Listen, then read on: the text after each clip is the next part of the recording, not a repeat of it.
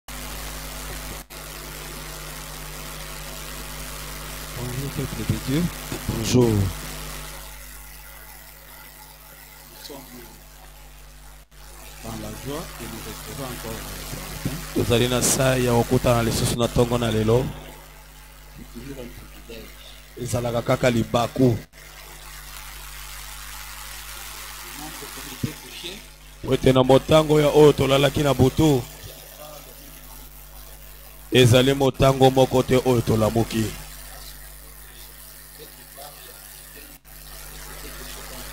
yebe ete eza na esika moto mpe alalaki lokola yo kasi akokaki te kotelema likolo kasi mpo ete nzambe azali kosala biso na yino ngolu azali kotalisa mawa na ye epai na biso nde ntina nini biso mpe lokola tokoki kotikala te lokola tomoni te mbala nyonso esengeli topusana pene na ye mpo na kotatola epai na ye oyo tomoni oyo tobiki tozali na sixième jour lolenge totei koloba yango ezali mokolo ya kobongama po ete lobi ezali feti ya monene ezali sabata ya nkolo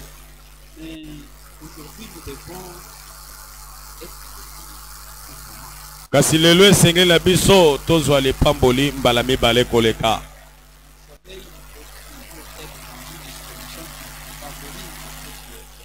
oyebi esengeli obongama to mpe ozwa otelema esika oyo ezali kopesa yo nzela ya lipamboli wana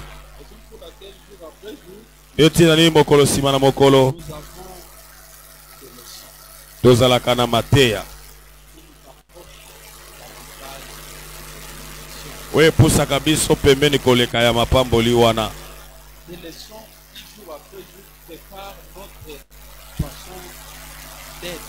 Mateya to mpe batoli oyo ezali kobongisa lolenge na biso ya kozala mpe trimestre oyo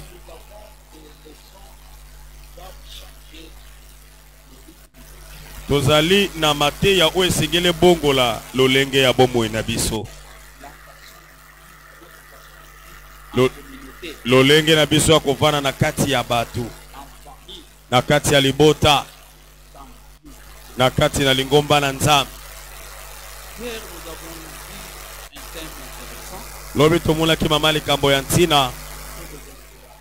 Ezalaki botutani.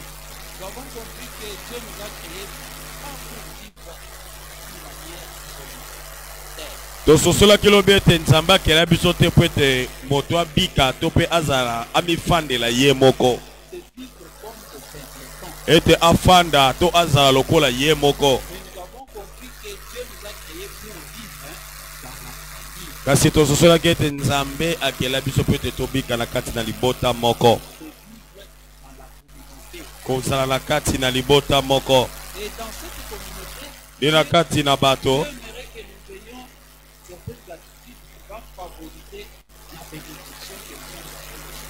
nzambe azali kosenga na biso ete tozala na balolenge oyo ekobimisa to ekotindika lipamboli na nzambe ebila biso nde ntina nini trimestre oyo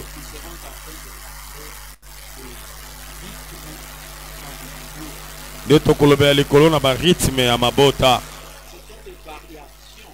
ezali bavariation régulière de temps fort ezali oyo ezali komonisama ete batango ya komata mpe batango ya kokita yango etalisaka bomoi na biso tolobaki ete yango ekangami na bomoi na biso bandeko balingami wana toyebela likolo na bainteraction to botutani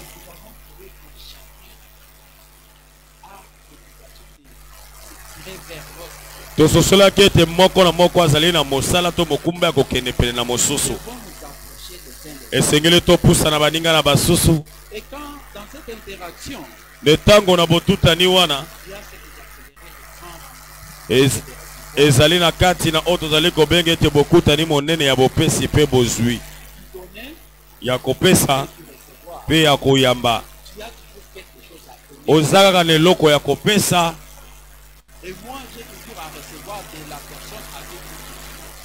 ngai mpe lokola nazali na eloko ya kozwa na moto oyo ngai nazali kopusana pene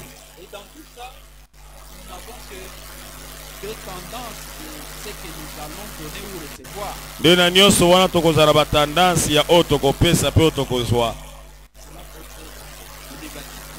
yango ekoki kozala ya malamu to mpe ekoki kozala ya mabe kasi awa tozali kobeta tozali kolobela kobeta sete likolo na bokaboli ya biloko ya malamu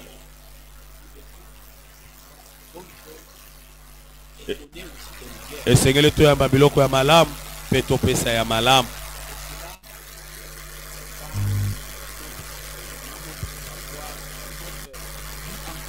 mpe wana ezali na ezaleli na biso na lolenge na biso ya koyeba mpe na lolenge ya biso ya kovanda na kati na bato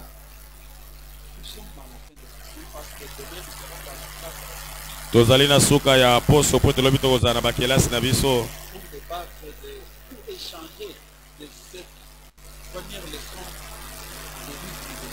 mpo na kokabola na oyo ezali kotelela leso na biso ya liboso ya baritme ya bomoi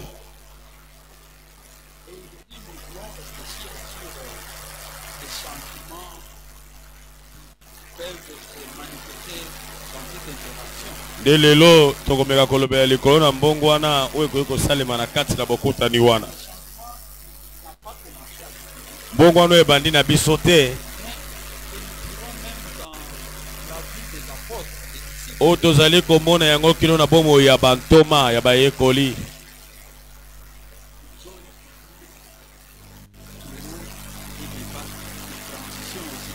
bango mpe lokola baleka batango ya mabe mpe batango ya malamu na kati na botutani na bango mpo ete bango babikaki elongo biblia ezali kolobela biso likolo na bantoma zomi na mibale na molakisi Yesu Kristu. Elakisi te ete nyonso ezalaki kaka malamu roza te.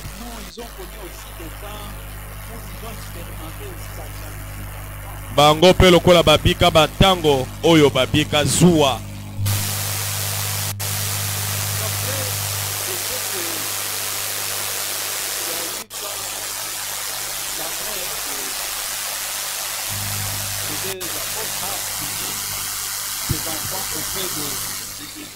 boyebi ntango mama ya bato ya mibale amemaki bantoma na bana mibale bana na mibale epai ya yesu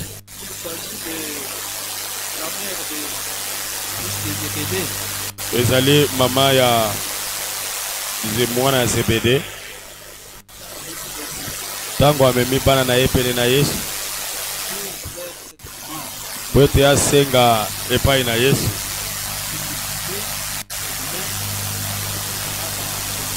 alingaki ete wana Yesu akozala na bokonzi na ye moko azala na loboko na ya mobali mosusu azala na loboko na ya mwasi Bokanisi ete na bazomi na mibale wana bayekoli basepelaki na yango? Te. Ya solo yango ekelaki zuwa kati na bango. Mpo na nini kaka oyo wana? Mpo na nini ngai te? elakisi ete eza bantango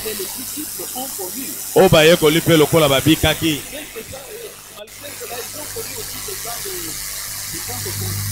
atako yango balekaki mpe bantango ya bozangi boyokani to mpe mobulu wana totali na mokanda na yohane chapitre 3 verset 25 25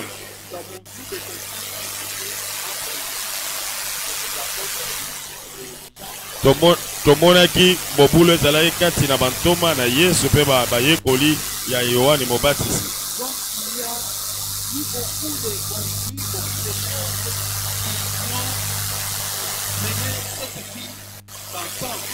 Eya na makambo ebele, bozangi boyokani ebele na baoyo na lolenge ya kobika na kati na kozala elongo. Eza na batango kutu babungisaki na kondima atako yango eloko moko e, etalisamaki epai na bango bazalaki na ezaleli moko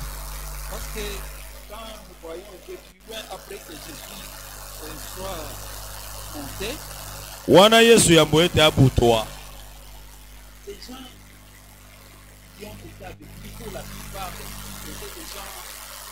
une classe une basse classe ebele ya baoyo bazalaki na yesu bazalaki bato ya etando ya bomoi ya se to vi ya se kasi bango bakamwisaki mokili mpo ete lolenge na bango ya kobika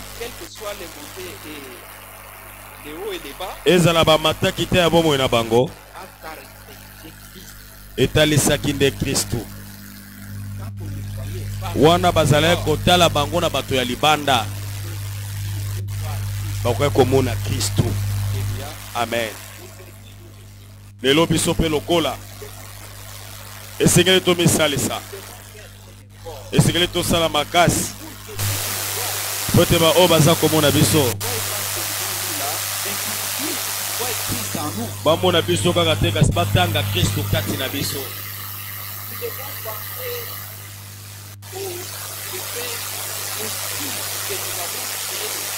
esengeli totala bolamu to bizali ya malamu oyo tosangoli epai na kristo Il faudrait que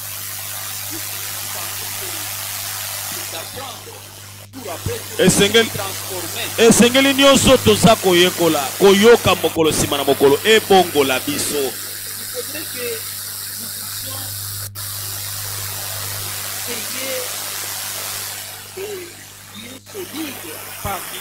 Esengeli tozala na boyokani, bondeko oyo ezali ya makasi kati na biso, mpo ete baoyo ya libanda ete batatola ete ya solo tozali ya Yesu.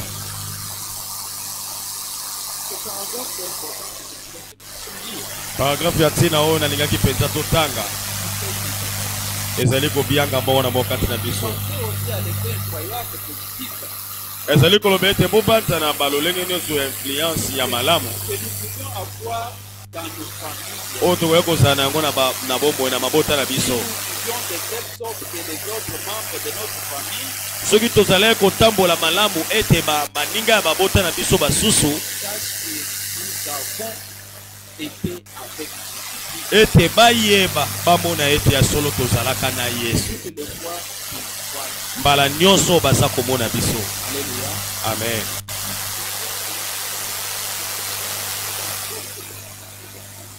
esengeli na nyonso tozali koyekola mokolo nsima na mokolo to tokanga makambo mosusu mpo ete baoyo ya libanda wana bakomona biso basosola solo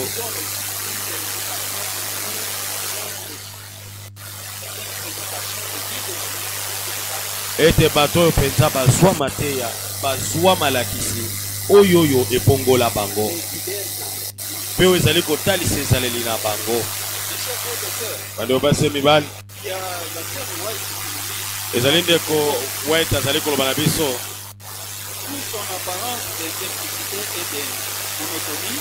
na lolenge na ye ya komikitisa mpe ya lolenge kaka moko wana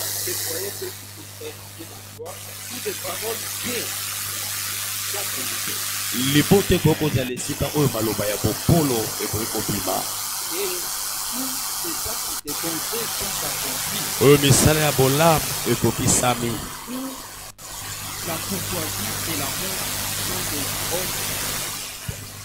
Oyo bondeko mpe bolingo ezali komonisama mpe oyo efandisami ewumeli. Lobi wana tolingi atoba likolo na libota, tolobelaki kaka te eza libota ya makila, tolobelaki mpe libota lokola lingomba, ekelezia. Yango esengeli ekangama lokola ezaleli na biso. Esengeli wana tosangani na libota oyo ya bakristo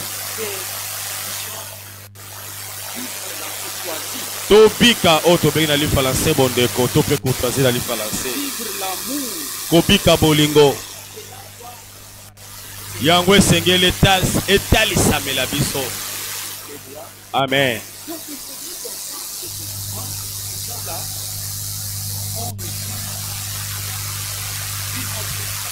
esengeli bato bayoka bamona ete baoyo wana bazwi mateya mosusu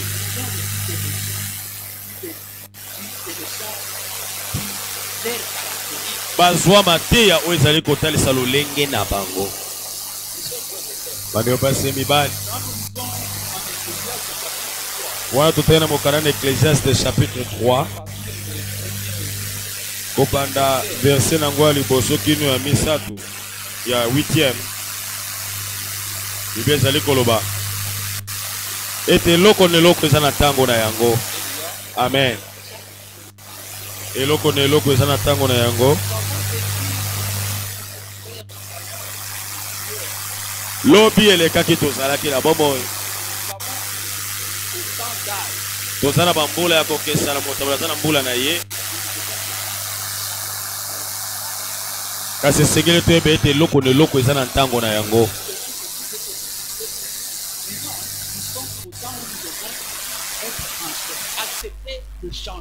esengeli tosimba ntango tosimba libaku mpo ete toloba ete ntango oyo ezali ntango esengeli na ndima mbongwana ezali ntango esengeli tobongola bizaleli na biso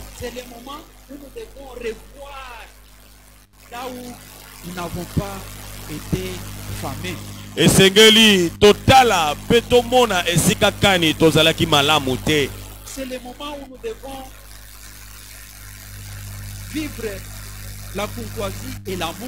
Ezali ntango esengeli tobika bondeko mpe bolingo. esenge ezali mpe ntango oyo esengeli tozala na solo ete eloko na eloko eza na ntango na yango mbala eleki na esenso ete tozali na kati na mobembo na biso tozozonga nsima te kasi tozokende liboso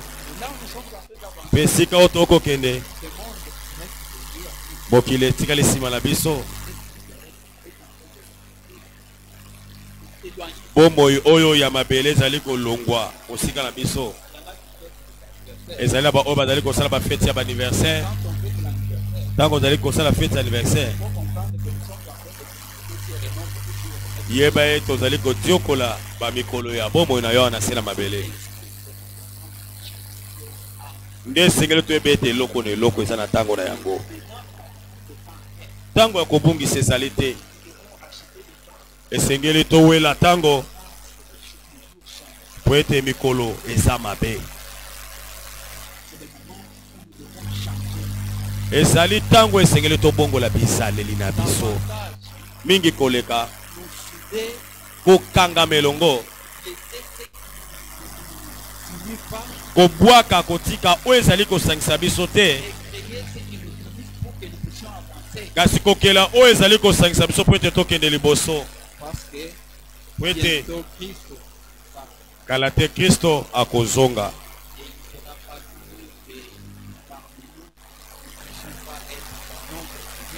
ekozala te malamu ete kati na biso tozala te na motango oyo eyebanaki